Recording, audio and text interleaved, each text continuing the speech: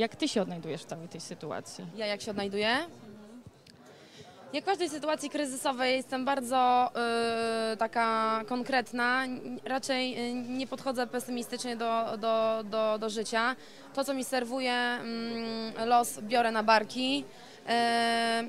Y, konkretnie do celu i staram się mm, myśleć i nakręcać pozytywnie.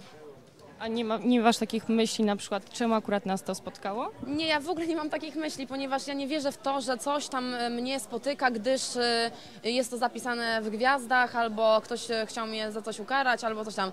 Nie ma, nie ma dlaczego my, dlaczego ty i dlaczego w ogóle cokolwiek.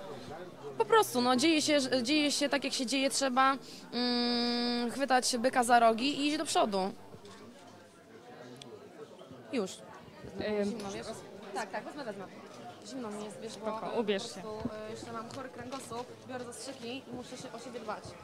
Jak ja już, jak ja, jak ja już zachoruję, to już nie, No właśnie, jak sytuacja z twoim kręgosłupem? Tragedia. Tragedia, ale zauważam jedną właściwość, że jak trzeba się zmobilizować i komuś pomóc, to e, mój, orga, mój organizm, moja psychika na drugi plan e, spycha mm, moje bolączki i e, e, moje jakieś tam dolegliwości.